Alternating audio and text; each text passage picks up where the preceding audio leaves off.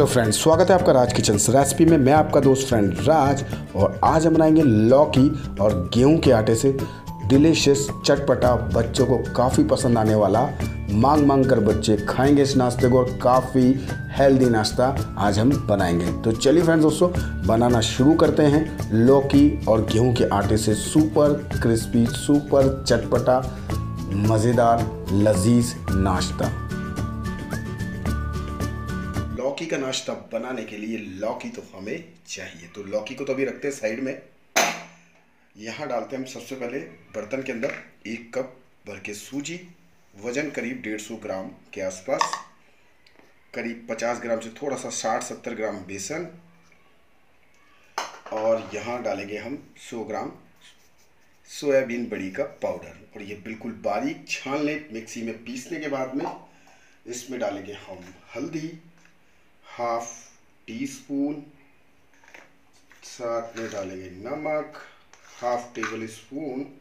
आप ले सकते हैं स्वाद अनुसार काली मिर्च, दरदरी कुटी हुई हाफ़ टी स्पून धनिया पाउडर वन टेबल स्पून, साथ में हरी मिर्च बारीक कटी हुई।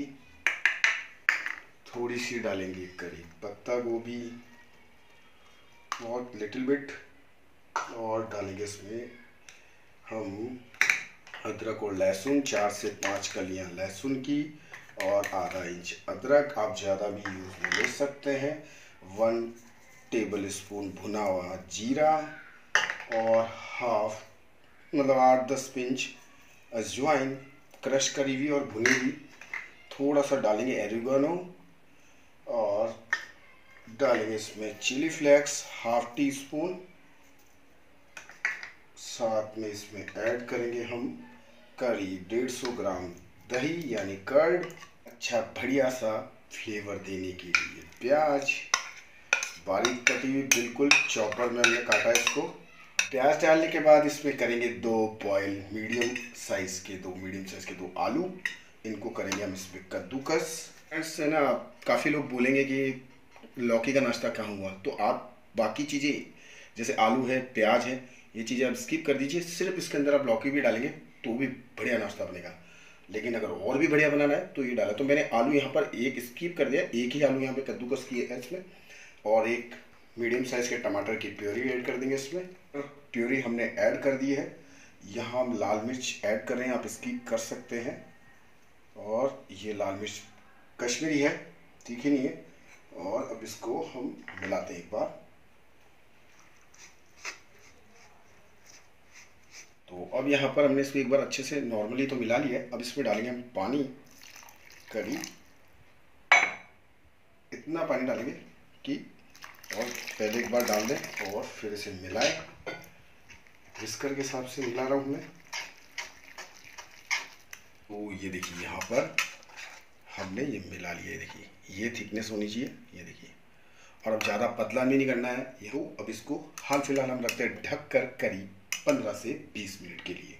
ढक के रखे हुए पूरे हो चुके हैं इसको। पच्चीस से तीस मिनट ढक्कन हटा लेते हैं। और सबसे पहले इसमें डालते हैं हम खाने वाला सोडा, करीब सात से आठ पिंच। आप इस जगह दो इनों के पाउच भी डाल सकते हैं। मिला लेते हैं। साथ ही हमने जो लौकी ली थी शुरू में, कद्दूकस कर लिए। बारीक कद्दूकस से ये ऐड कर देते हैं, ये भी मिला लेते हैं। साथ में डालते हैं एक टेबल स्पून चाट मसाला और काफ़ी सारा बारीक कटा हुआ धनिया। मिला लेते हैं।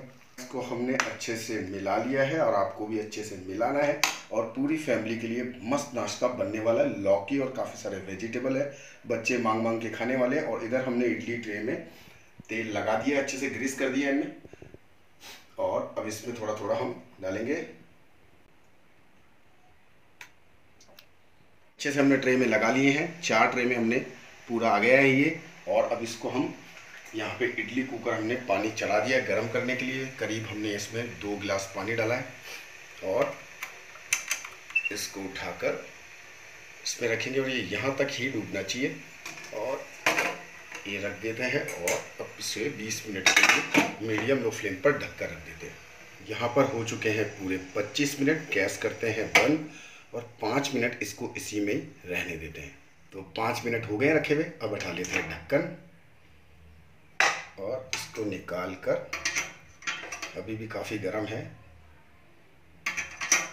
इसको निकाल कर करेंगे ठंडा। तो हमने इनको कर लिया है ठंडा, अब निकाल लेते हैं इनको हम।